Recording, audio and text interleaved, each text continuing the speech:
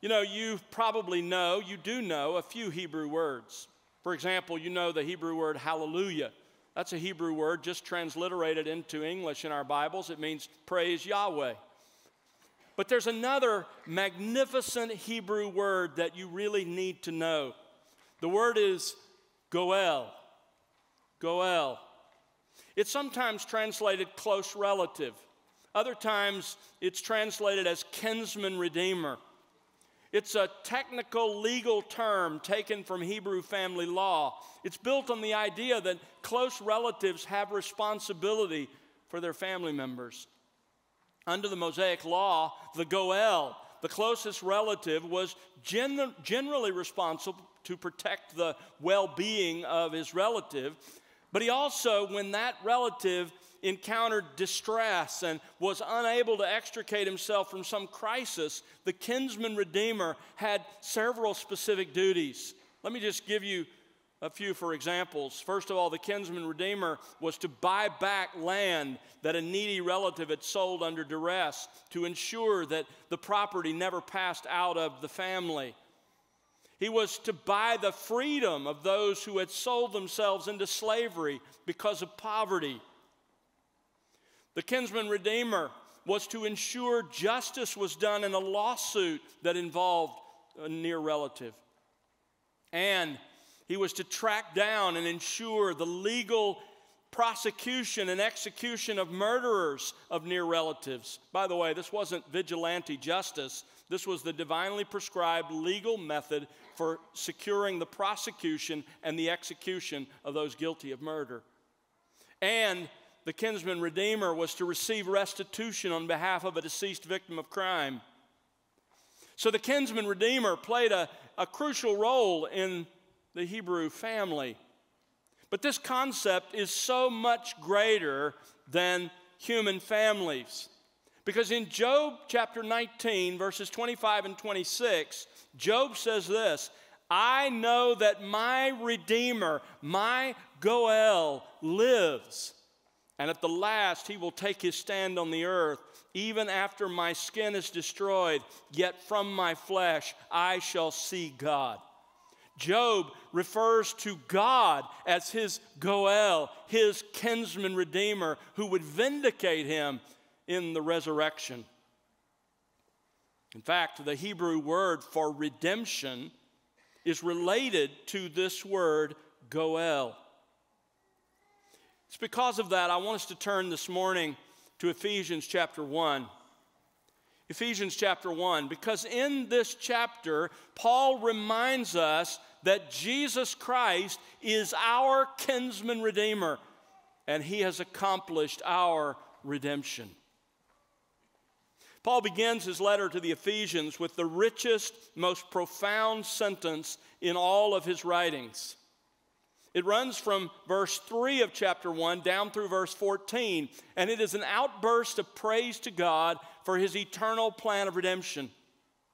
It's one sentence in the Greek text, divided into three stanzas, each marked by the refrain to the praise of his glory. The first stanza in verses 4 through 6 describes the role of the Father in the plan of redemption. And the Father's role here is described as that of, of sovereign election. The Father in eternity past chose those whom He would give to His Son as a gift of His love. The third stanza in verses 13 and 14 describes the role of the Holy Spirit in the accomplishment of our redemption, and that is, He is the one who applies the redemption to us, who seals us, who indwells us, who sanctifies us, and who ensures that we make it to glory. But the second stanza, verses 7 through 12, outlines the primary role of the Son in our redemption. These verses outline the blessings that are ours because of Christ's role in the eternal plan of redemption. And this morning, as we prepare our hearts for communion, I want to consider one great result of the work of our kinsman redeemer. It's found in verse 7. Look at it with me. Ephesians 1 7. In him we have redemption through his blood, the forgiveness of our trespasses according to the riches of his grace. Our kinsman redeemer has freed us from the guilt and penalty of our sins. In this one amazing verse, Paul outlines for us several key details about the forgiveness that you and I enjoy. I want us to reflect on our own forgiveness as we prepare our hearts for the Lord's table. Four key details about forgiveness. The first detail he explains is the basis of our forgiveness. Notice he begins, in him, that is, in Jesus Christ, we have redemption. In him, that speaks of Christ being our representative. We once were in Adam, that is, Adam represented us in the garden, and he failed miserably. But now Christ is our representative. We are in Him. We are spiritually united to Him by the work of the Holy Spirit. And in Him, notice we, that is, all believers, have right now, literally, are having redemption. Redemption is one of those key biblical words that sadly has fallen out of fashion. Over the last 25 years, as the seeker sensitive movement took over the church, there's been a trend to jettison the terminology of the Bible because unbelievers don't want to hear it, and, and frankly, un- believers aren't bright enough to understand it. But we ought to cling to such rich biblical words and to make sure that we understand them. So let's do that. This Greek word for redemption literally means to buy back a slave or a captive, to make free by payment of a ransom, to make free by the payment of a ransom. If you go back to the Septuagint, the, the Greek translation of the, of the first century, the, the, Greek translation of the Hebrew Scriptures, this word was often used for the release of a slave for whom payment had been made. And in secular Greek, this word is also used in the context of literal bondage, criminals, prisoners of war, slaves. So, redemption, let me give you a definition redemption is the freedom that a prisoner or slave has after someone pays the necessary price for his release. Redemption is really freedom, it's liberty that has been purchased by a ransom. The word emphasizes that God sets us as sinners free from the guilt and penalty of our sins only when the necessary payment has been made. Before Christ, we were prisoners and we were slaves. We were prisoners enslaved by sin. Proverbs 5:22 says, "His own iniquities will capture the wicked, and he will be held with the cords of his sin." Jesus in John 8:34 said, "Truly, truly I say to you, everyone who commits sin is the slave of sin." Titus 3:3, "We were enslaved to various lusts and pleasures. 2 Peter 2:19 By what a man is overcome by this he is enslaved. You see we thought we were free but we were slaves, slaves to our own sin. Listen, if you're here this morning and you've never trusted in Jesus Christ, you might think you're free, but the truth is you are a slave. If you doubt that, try changing. You're a slave, and we all were. And the situation is actually worse because we weren't just slaves from God's perspective, we were also condemned criminals, prisoners, condemned because of our own sin. We were legally guilty, fully deserving of the legal penalty of eternal death. But Christ has redeemed us not only from slavery, but also from the legal guilt and penalty of our sins. He rescued us by paying the necessary ransom. So, to whom did Christ make the ransom payment? Some have wrongly taught that Christ paid the ransom to Satan C.S. Lewis popularized that idea in his Chronicles of Narnia. But the Bible teaches that we have broken God's law, and as a result, we are not only slaves of sin, but we are under the curse of His law. And what does the law demand of someone who sins? What's the curse of the law? The soul that sins, it shall die. Physical death, eternal death. So it was God's law that we had broken. It was God who pronounced the sentence of death on us. And Christ had to pay the ransom to God the Father to redeem us from our slavery to sin and also from the curse of the law, which is physical and eternal death. You say, is that clearly taught in Scripture? Absolutely, in this very book. You go over to chapter 5, verse 2, and Paul writes, Christ loved you and gave himself up for us, listen to this, an offering and a sacrifice to God. He released us. He set us free from the bondage of sin and the curse of the law, which is death, by means of the ransom that He Himself paid on Calvary. Beloved, think about that. If we are in Christ, our kinsman redeemer has come and he's freed us from the guilty verdict that hung over our heads because of our sin. He's delivered us from the sentence of eternal death. Verse 7 says, In him, literally, we are having redemption. It is a present reality, it is our constant possession, forgiveness. Paul takes us deeper into this rich biblical concept of forgiveness by explaining a second detail, and that is the cost of our forgiveness. The cost of our forgiveness. Verse 7 In him we have redemption through his blood. That was the ransom that Christ paid for our souls. Now, sitting here in the 21st century, it's hard for us to fully connect with this concept of Jesus paying a ransom of his blood but that simple phrase is filled with the richness of the Old Testament sacrificial system. As I've explained to you before, and I always love telling you again because this is the heart of the gospel pictured in the Old Testament sacrificial system. If you had been an Old Testament Israelite, and you had committed sin against God and you wanted to make a sin offering, here's what you would have done. You would have chosen a perfect animal and you would have taken that animal to the forecourt of the temple.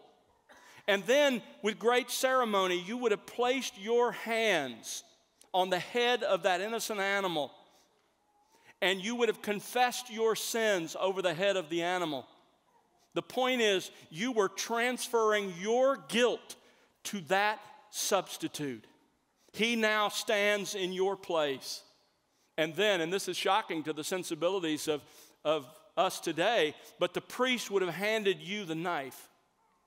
And with your own hand, you would have slit the throat of that innocent animal who's now dying in your place. And as the blood poured out of that animal, the priest would have captured it in a bowl and he would have walked just a short distance to the altar and he would have splattered that blood across the altar. And then he would have taken the proper portions of that animal and burned them on the fire on top of that altar. And the point of all of that was that the animal was dying in your place. It was crystal clear that an innocent animal had died in the place of the sinner who deserved to die. And to illustrate the principle of life for life, the animal could never be strangled, instead its blood had to be shed. Hebrews 9:22 without the shedding of blood there is no forgiveness. Why? Well, Leviticus chapter 17, verse 14 explains As for the life of all flesh, its blood is identified with its life. Its blood is identified with its life. The pouring out of the blood pictured the pouring out of its life, the, the innocent dying in the place of the guilty. But not one of those animals ever truly atoned for sin. Hebrews chapter 10, verse 4 says, It is impossible for the blood of bulls and goats to take away sins. So, what had to happen? Our kinsman redeemer had to come. He had to come and pour out his life in violent death in our place as our substitute, his life as the ransom for ours. You see, the kinsman redeemer was supposed to show up when you had made a mess of your life, and he was responsible to step in and rescue you from what you had done. That's exactly what our kinsman redeemer did. This was the purpose behind the incarnation. Mark chapter 10, verse 45, Jesus said it himself the Son of Man came to give his life a ransom for many. He came to give his life as a ransom, and he did. 1 Peter chapter 1 verses 18 and 19 you were redeemed not with perishable things like silver or gold but with precious blood as of a lamb unblemished and spotless the blood of Christ. We tend to think of forgiveness as an easy thing. That if God wants to forgive he can just say it and it happens. That's not what the Bible teaches at all. The truth is forgiveness, forgiving sinners presented a huge problem for God because His justice and His holiness demand that sin be punished. He can't be just and just ignore sin. And so the only way it could happen was through the sacrificial death of His Son. So when Paul says that we were redeemed through the blood of Christ, think of it as theological shorthand. He means Christ secured our spiritual rescue by means of the ransom payment of his violent death on the cross as our substitute. The price of our ransom was of infinite value. Perhaps you've read the story. I'm fascinated by it. I came across it several years ago. But in West Africa in 1927, a blood specimen was taken from a man named Asibi who was sick with yellow fever. One man, sick with yellow fever. What's amazing is that for many years, all of the vaccine that was manufactured to combat yellow fever came from the original strain of virus obtained from that one man. It was passed down from laboratory to laboratory, and and duplicated and multiplied so that it could be spread to others. And as a result, the blood of one man offered immunity to yellow fever to millions of people across our world. In the same way, brothers and sisters, you and I have been rescued from the disease of sin by the blood of Jesus Christ. That's the cost of our forgiveness. Thirdly, Paul explains the reality of our forgiveness. Verse 7 In him we have redemption through his blood, the forgiveness of our trespasses. This is the, the immediate result of the payment that Christ made to God for our redemption. It's the forgiveness of our trespasses. The word trespasses means deviations from the path of righteousness. But they're not accidental. It's not like we sort of accidentally strayed. We wandered over the line, you know, separating our lane of traffic from others. That's not the idea at all. These, this word pictures our sin as conscious and deliberate. And notice it's plural, our trespasses. Describes a chain or series of individual sinful actions. We read it a few minutes ago in Ephesians 2 1 as unbelievers, we were what? Dead in our trespasses and sin. Before Christ, we were marked by trespasses and sins. You say, well, wait a minute. Unbelievers do some good things. Well, they do good things from our perspective, but they're never good in God's sight. Why is that? Why, when unbelievers do things that the scriptures admonish believers to do, why does God not see them as good? Because they are done in a state of rebellion against him. Just like a king wouldn't see those who are involved in trying to overthrow his throne as doing good, even when they do good things to one another. They're still in a state of rebellion, and that's how it is with us. When God looked even at our best deeds, he saw nothing but rebellion. but motivated by His grace, by His great love with which He loved us, and secured through Christ's death as our ransom, we have forgiveness of our trespasses. God forgave our sins. You know, we talk about forgiveness a lot, but do you know what it is? What exactly is the forgiveness that happens at salvation? Well, in forgiveness, the scriptures teach that God makes two legal decisions. First of all, he removes the legal verdict of guilty from us. We are legally guilty of having broken God's law. He removes that guilty verdict from us. And secondly, he cancels the penalty of death that comes with it. Of physical death, we'll die, but death will not conquer us. Those in Christ, Jesus said, will never truly die. And we're not subject to eternal death, death in the lake of fire forever, as Revelation describes it. He removes the legal verdict of guilty, he cancels the penalty of eternal death, and he did it once and forever. If Jesus Christ is your Lord and Savior, then for Christ's sake, because of what He did, God has forgiven every sinful thought you have ever had, every bad attitude you have ever exhibited, every sinful word that has ever left your mouth, and every sinful act you have or ever will commit, past, present, and future. That's what Paul says here. Notice Paul doesn't say God forgave you, although he does say that in other places. But if he said that, it might imply that you were just forgiven at the moment of your salvation for everything that had come before, but maybe not so much afterwards. That's not what he says. He says literally, we are having forgiveness. God has removed the legal guilt for your offenses. He's forever canceled the legal penalty they deserve. You have been forever pardoned by God. It's interesting how Paul puts it in Colossians chapter 2, verses 13 and 14. He says, God, listen to this, has forgiven us all our transgressions. All our transgressions. But again, if you're like me, you need a little more assurance. And so let's go to Titus chapter 2, verse 14.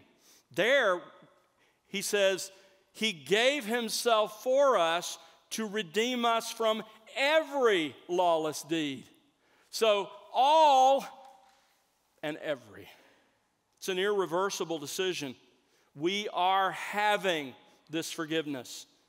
It's what he promised in the new covenant. Hebrews chapter 10, verse 17 their sins and their lawless deeds I will remember no more.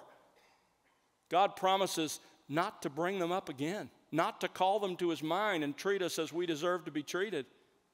That's the promise he made in the new covenant. Psalm 103, verse 12 As far as the east is from the west, so far has he removed our transgressions from us. That is a fascinating figure of speech. Because you realize if you go north on this planet, you will eventually start going south. But if you go east, you will never run into west. He has separated our sins from us as far as the east is from the west. Isaiah 44 22, I have wiped out your transgressions like a thick cloud. In other words, just like you can't see anything when it's super foggy here in Texas, the cloud blots out everything further than a certain distance. God has put a cloud between himself and our sins. He can't see them. Micah 7:19 He will again have compassion on us. He will cast our sins into the depths of the sea. The scriptures go overboard to try to explain to us the depth of forgiveness of God. But you know what's even more wonderful? and that is that forgiveness doesn't come by itself. It doesn't come by itself. It comes as part of the package of justification. You see, God has not just removed your guilt and declared you innocent of the crime. He has declared you perfectly righteous with the righteousness of His own Son.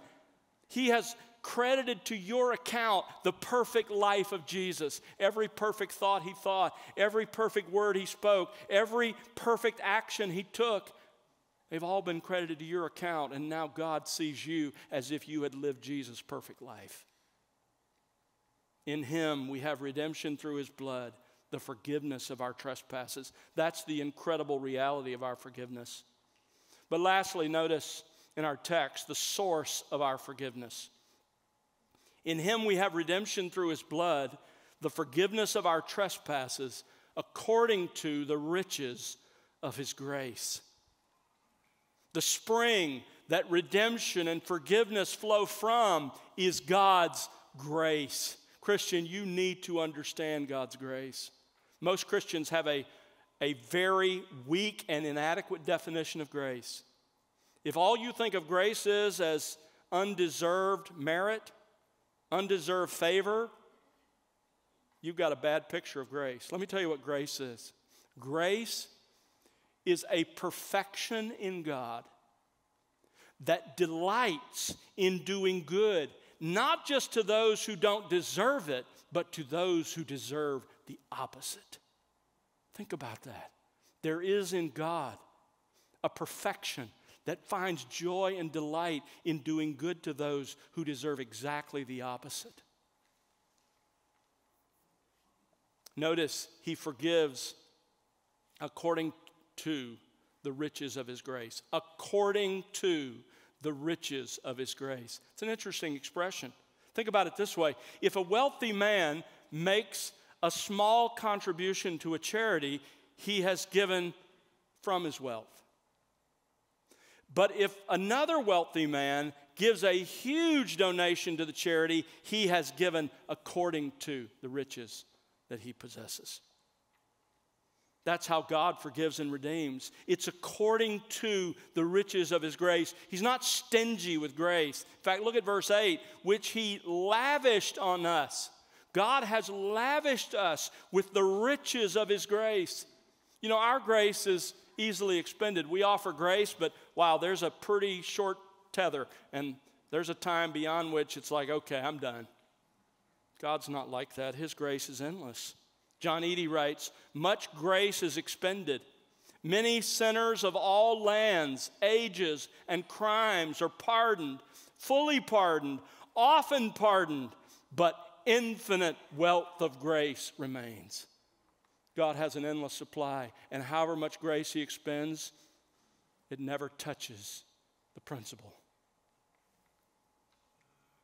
As of September 1st, Forbes magazine tells us that the world's richest man is Elon Musk.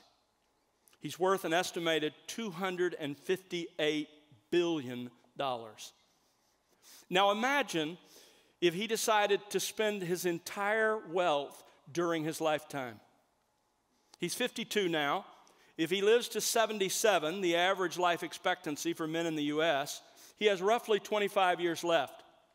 That means that to exhaust his current wealth, he would need to spend roughly $10 billion a year, $860 million a month, $28 million a day, $1 million an hour, and $19,000 a minute. So, unless he does something really foolish, which of course in his case is possible, he's, he's not likely to exhaust his riches. But the riches of our God make Elon Musk look like a beggar. And here Paul tells us that our God is rich in grace. It'll never be exhausted. Look again at verse 7. In him we have redemption through his blood the forgiveness of our trespasses according to the riches of his grace. Christian, from God's perspective, we were guilty, condemned criminals, sentenced to eternal death. We were living on death row, just waiting for the sentence to be executed. But our kinsman redeemer showed up and he rescued us. He set us free from our legal guilt through the ransom payment of His own suffering and His own death. We have been completely, eternally forgiven of every sin. How do you respond to that? I can't say it any better than Lloyd Jones says it.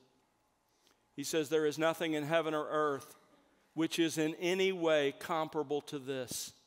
That I can say the Son of God loved me and gave himself for me, gave his life a ransom for me. His blood was shed that I might be forgiven. Oh, the riches of his grace. Oh, the abundance of his love. And then he counsels us to do this. He says, Go to the cross in your mind. Stand there and look at it. Survey it with Isaac Watts. See from his head, his hands, his feet. Sorrow and love flow mingled down. Stay there until you see that you never have had or ever will have a vestige of righteousness, that all your goodness is as filthy rags. But see your sins laid on him and see him paying the price, the purchase price of your redemption, your salvation. Fall at his feet, worship him and praise him, and give yourself to him, saying, Love so amazing, so divine, demands my soul, my life, my all. End quote. That's exactly what we do when we take of the Lord's table together. Take a moment and confess your sin, prepare your heart as the men come to service.